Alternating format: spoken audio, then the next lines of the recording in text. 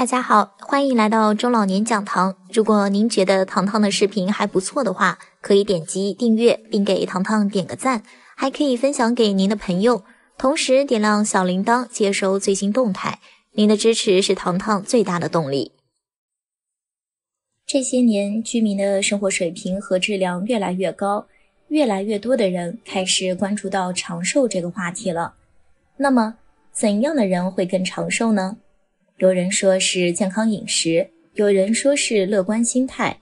今天给大家带来了几个小测试，看看你是否具备长寿的特点。腰围，腰太粗难长寿。肥胖是多种疾病的凶手之一，尤其是腹部肥胖人群。美国研究人员根据十一项研究中超过六十万人的医疗数据分析得出。腰围超过一百零九厘米的男性，比小于八十九厘米的男性死亡风险高百分之五十，相当于四十岁后预期寿命减少三年。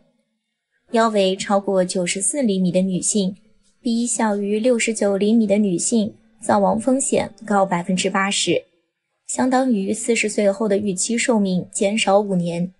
要知道。肥胖不仅容易诱发高血压、高血脂、高血糖等慢性病，还会增加肠癌、肾癌、乳腺癌、宫颈癌等多种癌症的发病风险。一、自测腰围，保持站立，用软尺在肚脐的水平线上绕腰一周，量其周长。健康成人的腰围应该是男性小于八十五厘米，女性小于八十厘米。二。改善建议：长时间保持挺腰收腹的姿势，在锻炼腹部肌肉的同时，对减少腰围非常有用。平时也可以尝试以下两个小动作：蹬三轮车，腰背始终保持弯曲，双手抓于椅子两侧，身体向后倾，两腿伸直，交替收腿，保持腹部发力。二十个一组，做四组。平板收腹。手肘撑于椅面，保持手肘在肩膀的正下方，两脚打开与肩同宽，身体保持一条直线，切勿塌腰，臀部下放，弓背向上，保持腹部发力。二十个一组，做四组。脖子，脖子粗，心血管风险大。美国一项研究发现，脖子越粗，患心血管疾病的风险越大。弗雷明汉心脏研究学会专家调查显示，颈围每增加三厘米，男性体内的高密度脂蛋白平均降低零点一二毫摩尔每升，女性降低零点一五毫摩尔每升，从而增加心血管疾病风险。一、自测颈围，保持身体直立，双臂自然下垂，请别人帮忙用软尺测量脖子最细的地方。即第七颈椎，低头时后脖子最突出处到喉结下方的周长。正常人的颈围应该是男性小于三十八厘米，女性小于三十五厘米。二、改善建议：脖子较粗的人建议每天吃点坚果，因为坚果含有不饱和脂肪酸，有助于维持血液中高密度脂蛋白胆固醇的浓度。辅助降低心血管疾病风险。注意，脖子粗还可能预示甲状腺疾病、睡眠呼吸暂停综合症等疾病，应及时排查。走路，走得快的人更长寿。走路需要骨骼、肌肉和神经系统的完美配合，还需要心血管系统和呼吸系统的参与。人在走路时，身体会自动调节步伐。让步速与自身功能相适应，因此这能比较直接的反映一个人的身体素质，对预期寿命长短有一定的参考作用。美国匹兹堡大学的研究者也曾指出，平均走路速度超过一米每秒的人寿命较长，而步行速度低于零点六米每秒的人死亡的风险相对较高。一、自测步速。按照正常的步速行走，测试自己走十米所需要的时间，再除以十得到每秒的速度。普通人的步行速度一般是零点九米每秒。二、改善建议：影响步速的原因众多，包括年龄、疾病、锻炼等。刻意提高步速并不能延长寿命，尤其是患有严重心血管疾病、膝关节疾病的人群，更不能盲目快走。一般来说，每周五天，每天三十分钟以上的中等强度锻炼，有助于增强体质，使步履更轻快，辅助延长寿命。如果发现家中老人短时间内步速下降较多，需要警惕健康问题，必要时积极检查治疗。握力手劲大，死亡风险低。二零一六年，一项多国联合开展的研究发现，握力比收缩压能更好的预测死亡风险。握力每下降五千克，因慢性病死亡的风险增加百分之十六。心脏病风险增加百分之七，脑卒中风险增加百分之九。全球权威医学杂志《柳叶刀》刊登的加拿大一项研究显示，握力减退，预期寿命也会随之缩短。一、自测握力。第一步，保持站立，双脚自然分开，双臂下垂，一只手拿住握力计，并使出全力握紧，读取握力计数值。可多测试两次，取最好成绩。第二步，计算握力体重指数，用握力千克除以体重千克。如果数值大于零点五，说明肌肉总体力量较好，体质不错；如果数值小于零点五，则说明体质较差，应加强锻炼。二、改善建议：握力体重指数较小的人应注意锻炼肌肉。尤其是随着年纪增长、肌肉逐渐流失的老年人，平时可通过拧毛巾、举矿泉水等方式进行锻炼；年轻人则可以进行俯卧撑、引体向上、深蹲、卷腹等运动。性格，性格好更长寿，性格也是影响寿命的一大因素。性格好、乐观开朗的人更容易长寿。一、自测性格。在医学上，人的性格通常被分为 A 型、B 型、C 型三种。A 型性格又称为经理性格，这类人喜欢竞争，精力旺盛，有紧迫感，受老板欢迎，易成功，但也易悲观、烦躁、动怒等。美国西北大学医学院研究发现，A 型性格的人易患高血压；B 型性格的人从容不迫。乐观随和，随遇而安，容易感到幸福，也被称为长寿性格。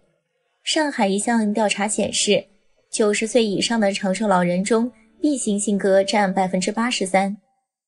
C 型性格的人易焦虑，喜欢生闷气，常有孤独感和无助感，过分压抑情绪，易使内分泌紊乱，脏腑功能失调。有研究表明。C 型性格的人，肿瘤发病率比一般人高三倍以上，因此也被称为癌症性格。二、改善建议：一、A 型性格的人可制定恰当的目标，培养兴趣爱好，时刻提醒自己控制情绪。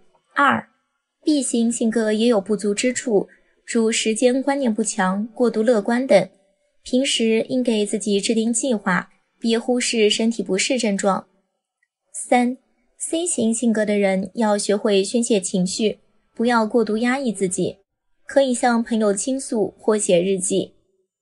五个习惯看似不健康，却能让你更长寿。喜欢抖腿，生活当中喜欢抖腿的人有很多。这类人平时坐下来的时候会习惯性的抖动腿部，感觉这样很舒服。抖腿在多数人眼中是一种坏习惯。看上去很难看，其实这个动作对身体是有一定好处的。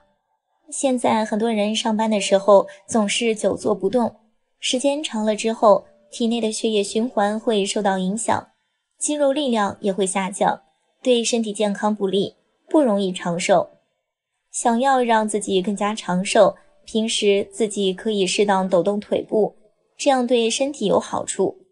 在抖腿的时候，自己要注意自制，适当即可，防止自己养成一坐下就抖腿的习惯，这样是不好的。习惯自言自语，在多数人眼中，自言自语并不是个好习惯，但适当的自言自语对情绪是有好处的。适当的自言自语有镇静的作用。当我们感觉紧张的时候，它可以帮助我们调节情绪，增加安全感，对身体健康是有利的。习惯赖床，在生活当中，赖床不算是健康的习惯。事实上，适当的赖床能够预防头晕等不适症状。对预防中风也有一定作用，能够让我们更长寿。在早上醒来的时候，身体一般不会马上清醒，立刻起床可能会出现头晕等不适症状，还可能增加中风风险。所以平时起床的时候可以稍微赖床几分钟，给身体一些调整时间，这样会更好。站着吃饭，有相关的研究表示。站着吃饭对肠道蠕动有利，对消化是有帮助的。人的消化功能好，身体也能更长寿。平时坐着吃饭的时候，我们通常会感觉轻松，不知不觉吃很多。等到站起来的时候，才发现自己吃的有些撑。长期如此对身体不好，平时要多注意些。每天吃好几顿饭，一般我们习惯一天当中吃三顿饭。觉得这样的饮食习惯是比较好的，在一天当中吃多顿，通常被视为不健康的习惯。其实一天吃多顿是可以给肠胃减少负担的，肠胃变好，人也能显得更年轻。只是一天吃多顿要注意计划好饮食时间，要有一定的规律，这样对身体才有利。要多注意这一。分享的是一个人能不能长寿，只用看脚就知道了。快发给身边朋友看看。中医认为脚是人体第二大脑，树枯根先解，人老脚先衰。一个人长不长寿，其实能从脚部得到答案。脚部的穴位很多，还有成千上万条末梢神经，特定穴位与体内脏器之间都有着密切相关的联系，因此脚部对身体的重要性显而易见。那么，如何通过脚部看健康呢？一看颜色，一看脚底颜色。五色辨病是中医学内容之一，五色为青、赤、黄、白、黑。中医学认为，正常脚底颜色略红，也就是说，脚部最佳的颜色应该是红润。如果出现以下颜色情况，最好去医院进行检查：红色十分明显，可能有热；颜色发青，可能有寒；出现异常的黄色，可能有肝胆疾病；发白，除可能有寒症外，还可能是营养不良和贫血；发紫或发黑，可能血液循环差。二看脚趾甲颜色，脚远离心脏，脚趾甲是最远的，就像珠穆朗玛峰的峰尖。如果脚趾甲红润有光泽，说明人体血液循环好。一般健康长寿人的脚趾甲就会呈现健康的粉红色。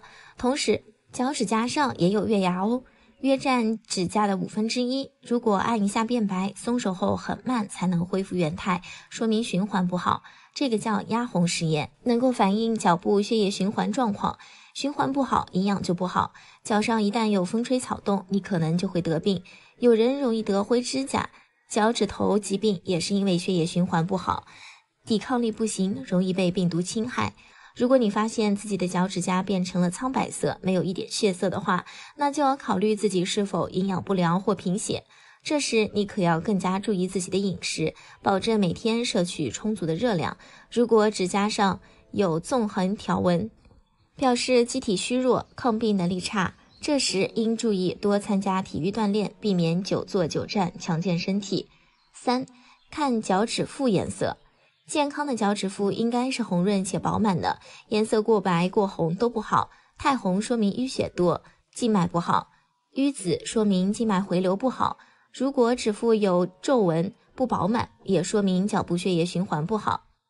二、摸温度，老人脚一凉，多为肾阳不足或保暖不当，这类人应多吃一些性属温热的食品，如羊肉、大蒜、生姜等，以提高机体耐寒力。若脚心热，则可能是阴虚内热，应多吃一些绿豆、冬瓜、瘦肉等干凉滋润之品，少吃羊肉、韭菜、辣椒等温燥之品。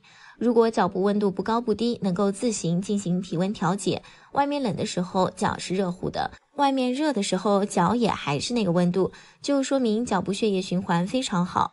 相反，天一冷脚就冰凉，天一热脚老出汗，就说明脚部血液循环不是很好。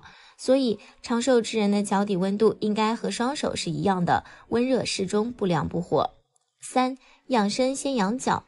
一、锻炼脚趾，建议大家可以通过用脚趾抓地等举措来锻炼脚趾，强身健体，达到长寿的目的。做法：取站立或坐姿，双脚紧贴地面，与肩同宽。脚趾以抓地放松相结合的方式交替刺激经络，练习用二指和三指夹东西，然后反复将脚趾往上扳或往下扳，同时按摩脚趾，可刺激脚部穴位，强身健体。二、经常泡脚，平时多泡泡脚也可以达到养生长寿的目的。中医认为，热水洗脚甚至补药。每天泡脚十五分钟就能发挥保健作用。另外，在温热的水里加点中草药，促进人体血液循环的同时，可以使药效被皮肤吸收，作用于人体，达到良好的保健作用。三、互打双脚。中医认为，脚与人体的五脏六腑、四肢百骸都有着极为密切的关联。光在足底就有一百三十六个穴位反射区，分别对应人体的五脏六腑各个器官。经常双脚互打，等于在调理全身五脏六腑。尤其在冬天，双脚互打更是不可缺少。因为百病从寒起，寒从脚下生。有很多老人通过双脚互打后，发现比热水泡脚还要实惠有效。四、按摩脚筋，人的筋之根就在脚部。治病要治根，养生也要调根，因此只拉身体的筋而不把脚部的筋拉开是治标不治本。把脚部的筋拉软，不仅能够变得强壮、延年益寿，而且还能够改善人不好的脾气。当然，拉脚部的筋有很多的方法，和舞蹈家一样的那种拉法，并不适合中老年朋友。所以，最好操作，同时又比较方便的，就是搓揉脚底板的脚筋。表面有个凹陷，一般的情况根本刺激不到。这也就是为什么泡脚效果好，因为热水可以刺激凹陷的地方。在这个脚凹陷的地方有很多精妙穴位，比如长寿的涌泉，足跟有三焦经通过，这些都要拍打到。最好是用一定的力度往里头揉捏，可以触到一根比较粗紧的筋，按揉以发热、经络舒服为准。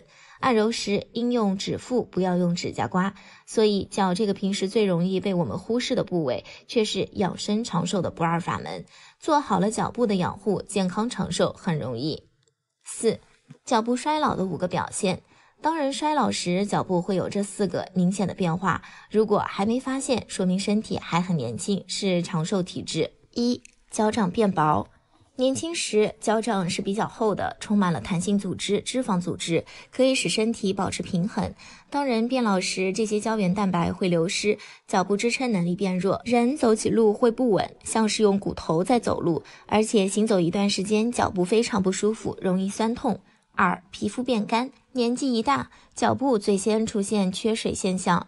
脚趾容易起皮裂开，同时由于汗腺退化，角质层变厚，皮肤过度老化，双脚会出现老茧。实际上，这是身体保护脚部的一种正常反应。因为脂肪流失，脚部很难支撑整个身体，而这些老茧可以减少部分来自身体的压力，避免轻轻一推就摔倒。三，脚背变平。足弓是人类特有的骨骼，可以承受身体压力，缓冲运动时带来的震动，从而保护脚底的血管和神经。人开始变老时，韧带、肌腱、肌肉就会伸展松弛，导致足弓变平，脚部整体看上去就非常平坦。四、关节疼痛，人衰老时，双脚的关节会跟着老化，引起关节炎等慢性疾病。关节炎一般会侵袭脚趾和踝关节。这两个部位经常出现疼痛和僵硬感，灵活性变差，大不如前。今天的分享就到这里了，您有什么看法，可以在视频下方留言，别忘了分享给朋友一起讨论。YouTube 和 Facebook 都能找到糖糖哦，期待看到您的关注与互动。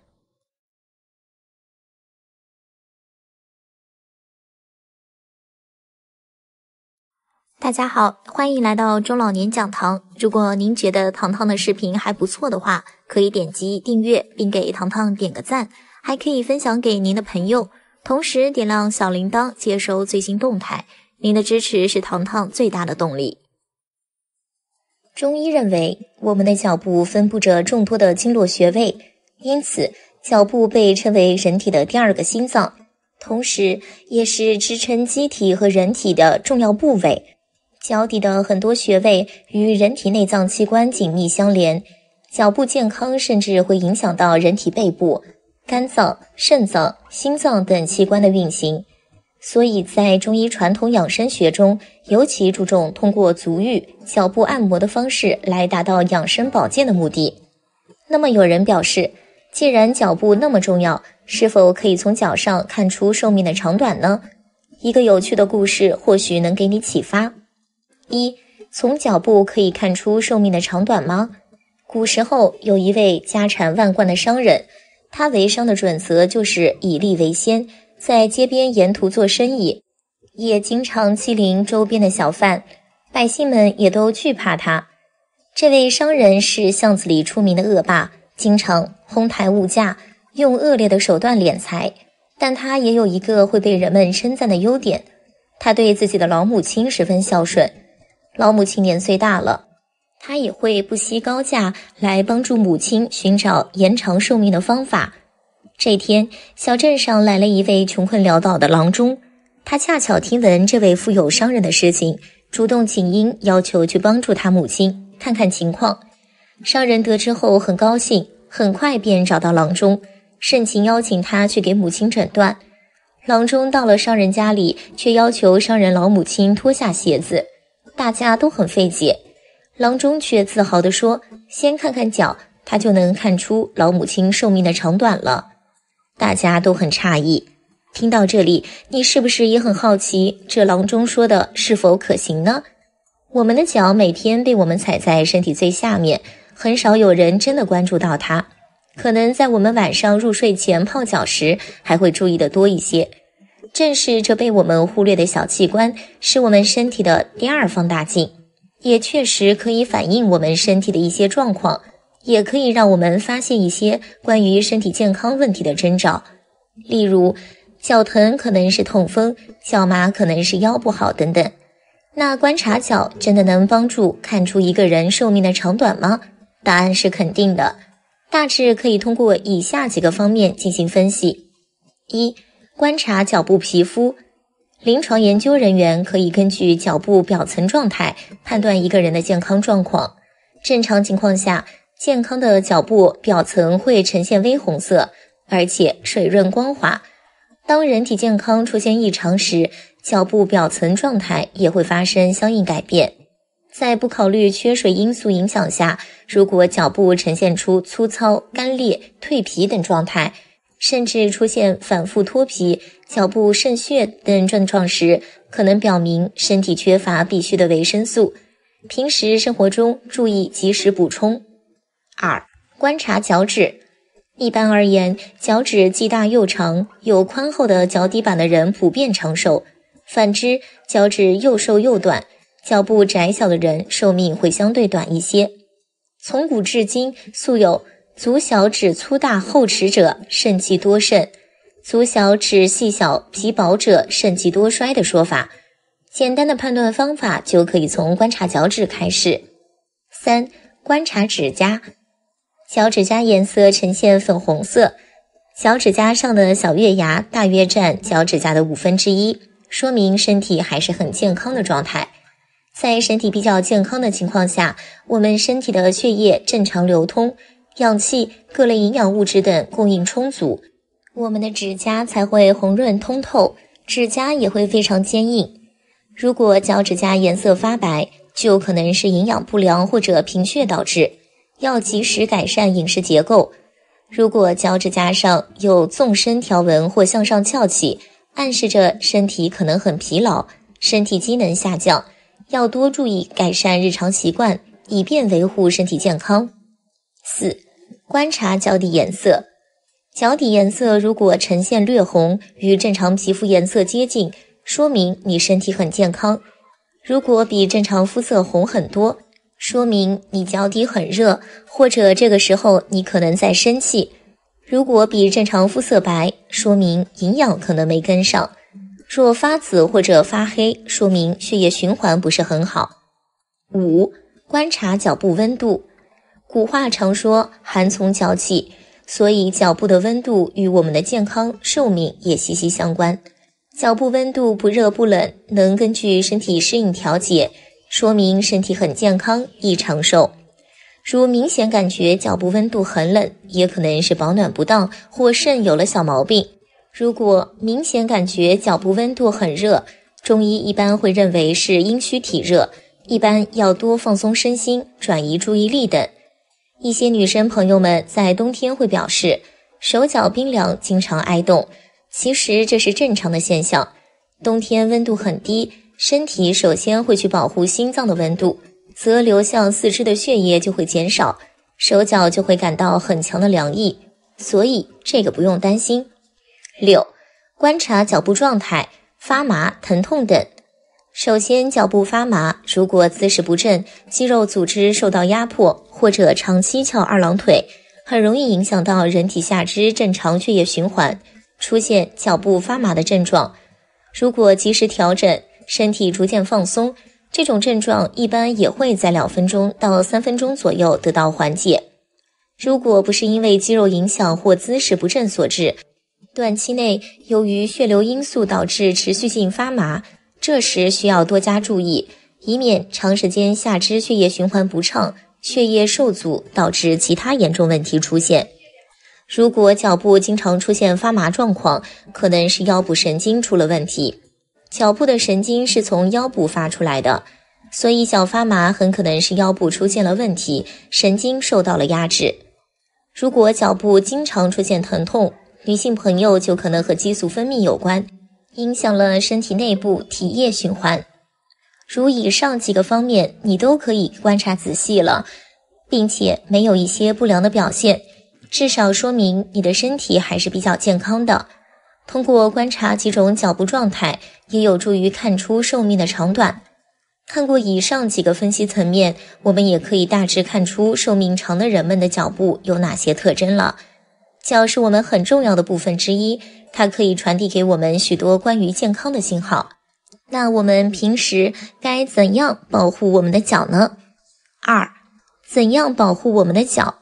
一，选择合适的鞋子。我们在外出时，长时间都要穿鞋子，所以给我们的脚准备舒适的鞋子也尤为重要。要根据自己的走路习惯选择舒适宽松的鞋子。二、清洁，在外奔波一天，我们都会习惯性的洗洗脸、刷刷牙，我们的脚也需要清洁，可以选择室温的水来泡脚，四十摄氏度左右的热水来泡脚，可以帮助我们缓解一天的疲劳。改善血液循环，促进代谢，更好的养生保健。三足疗，越来越多的人会去做足疗按摩。我们的脚底部有许多穴位，长寿穴之一的涌泉穴就在脚掌前三分之一处。俗话说，若要老人安，涌泉常温暖。经常按摩按摩穴位，也可以帮助我们长寿延年。以下的穴位经常按摩非常有益处。一涌泉穴，平时经常按摩涌泉穴，不仅有利于降低心脑血管疾病和高血压患病概率，而且对于这类患者来说，还能起到促进血液循环、放松身体、促进恢复的功效。涌泉穴位于脚部第二根和第三根脚趾足跟与足端平衡连接线位置上。我们可以通过顺时针按摩涌泉穴三十次到五十次的方法。每天按摩一段时间，对于促进血液循环、调节机体循环能力很有帮助。二、太溪穴，太溪穴处于足内侧脚跟骨腱筋与脚踝后方之间凹陷处，双侧呈对称状。平时适当多按摩太溪穴，不仅能够改善自身腰酸背痛、腰膝酸软等症状，还能起到益肾补虚、失眠降火等功效。每次按摩三十秒到五十秒，长期坚持，对于改善人体循环能力大有裨益。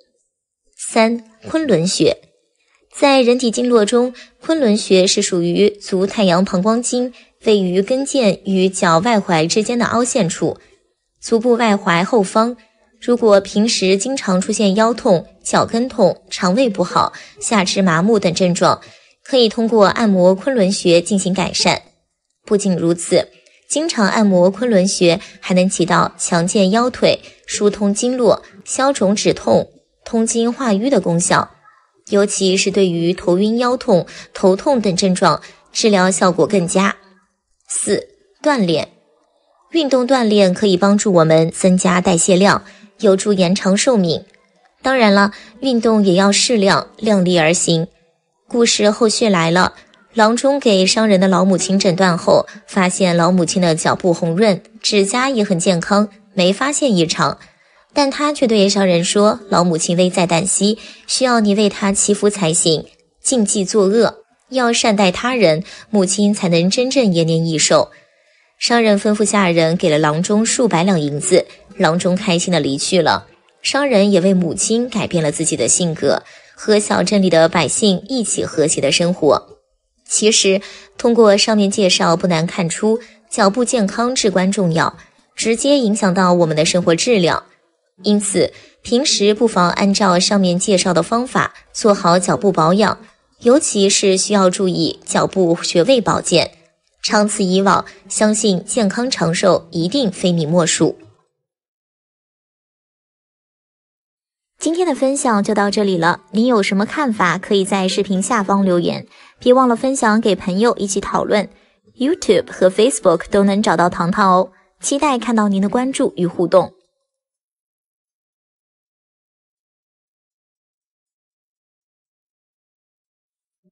大家好，欢迎来到中老年讲堂。如果您觉得糖糖的视频还不错的话，可以点击订阅并给糖糖点个赞，还可以分享给您的朋友，同时点亮小铃铛接收最新动态。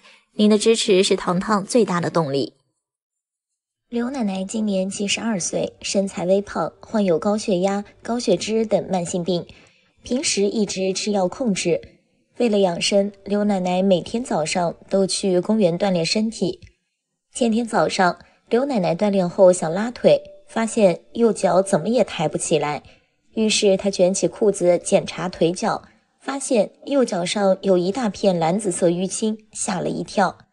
到医院后，医生安排刘奶奶做了血管彩超，随后被确诊为腘动脉瘤，并在右脚腘窝形成血栓。之所以有淤青，是因为血栓脱落，堵塞细小动脉。幸运的是，刘奶奶及时发现病情，血栓堵塞不算严重，只要接受常规治疗即可。医生表示，血栓的发生可能跟刘奶奶的高血压和高血脂有关。许多疾病的征兆可以体现在脚上，如果能及时注意，早发现早治疗，有时真的能救命。一。一半以上的人患有脚病。中华医学会皮肤性病学分会的一项调查显示，我国有一半以上的人患有脚病，其中成年人的患病率更是高达百分之七十五。脚病高发主要跟三个方面有关：首先，人们对于脚部卫生和护理不够重视，有些人经常不洗脚，一双袜子穿几天；其次，与穿高跟鞋有关。双脚无法得到放松，进而导致过敏、足癣、足底筋膜炎、关节畸形等疾病。最后是人们缺乏脚部保健意识，对一些症状没有重视，等严重时才就诊，错过时机。二、发现脚变长变宽要重视。随着年龄的增长，你的脚有变长变宽吗？这可能是衰老的迹象。有调查指出，与年轻时相比，百分之五十五点一的老年人的脚变长了，百分之六十七点四的老年人的脚变宽了。除了脚部形态改变，老年人的步态也有变化。百分之三十九的老人步态不正常，例如外八、走路速度忽快忽慢等，更容易导致摔倒。北京大学第一附属医院骨科主任医师唐康来表示。超过七成的老人脚病是衰老引起的退行性病变，包括足底脂肪垫变薄、拇外翻、韧带松弛、足弓塌陷等。三、脚部有些变化并非衰老，与疾病有关。如果脚部出现以下症状，就要当心，可能是健康正在拉警报：一、脚部酸痛。大部分脚酸是过度劳累导致的，但也可能是疾病引起，包括腰椎间盘突出、下肢动脉硬化、下肢静脉曲张、糖尿病足、扁平足等。如果休息后无法缓解，建议及时检查。腰椎间盘突出，腰痛是首要症状，但如果刺激到神经根，可能引发脚麻、脚酸。下肢动脉硬化，常见症状是腿部发凉、脚部酸痛、乏力，长期如此很可能导致脚部皮肤变薄、腿部变细、汗毛脱落等症状。糖尿病足，糖尿病的严重并发症之一。走路时有酸胀、疼痛感，需要停下来，还可能出现肌肉萎缩、足部畸形。扁平足患者的足弓张力不足，走路时更容易脚酸。即使是正常足弓的人，一旦足弓出现劳损、韧带松弛，也会容易脚酸。二、脚麻疼凉，脚部发麻、发疼和发凉，可能是糖尿病足导致的。糖尿病足会加重局部血管狭窄，尤其是肢体远端血管。当天气转凉时，血管狭窄和血液运行不畅，会导致双脚发凉、麻木和疼痛。严重时还可能在夜间发生剧烈疼痛，需要服用止痛药缓解。经常脚麻的话，一定要注意中风、糖尿病并发症、腰间盘突出等情况。大家都知道。足疗捏脚是很好的一种养生方式。之所以这样认为，是因为脚部存在大量的毛细血管和神经，通过合适的脚部刺激，可以起到养生的作用。三、脚面肿胀导致脚面肿胀的原因有很多，包括静脉曲张、妊娠、心脏衰竭等。正常人是不会出现脚部水肿的。当心脏瓣膜不能正常关闭时，常见症状就包括脚面肿胀。另外，与心脏疾病相关的脚部肿胀常伴有呼吸短促、乏力等症状。如果是因为肾脏疾病引起的脚部水肿，就需要及时到医院接受治疗了。四、脚后跟疼。如果经常脚后跟疼，尤其是走路或用手按压时，疼痛感更明显。